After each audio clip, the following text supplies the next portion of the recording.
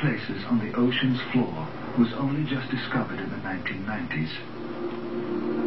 And Mike DeGruy is one of a handful of people to ever see it in person. Without a doubt, one of the most amazing things that I have ever seen in the bottom of the ocean. It was while filming for Blue Planet. It was in the Gulf of Mexico.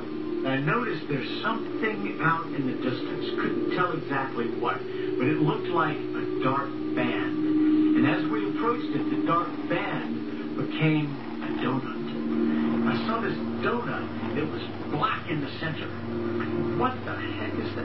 And so as we get closer and closer to it, I noticed that the black band had what appeared to be kind of steam over it. And then I looked, and there was water lapping against the shoreline. This band was a ring of mussels. And inside the ring of mussels was a lake. And it's like, wait a minute, I'm already underwater. We went out over the water in this lake and tried to descend in it and bounced off. It was so super saline and dense that the submarine couldn't go down in it. We literally bounced off, and as we bounced off, we sent ripples heading back to the shoreline. It was insane.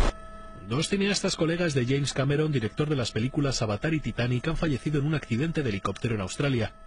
Andrew White, de 52 años, y Mike DeGruy, de 60, estaban trabajando en un documental con el director de cine y la revista National Geographic cuando se produjo el accidente al poco de despegar al sur de Sydney.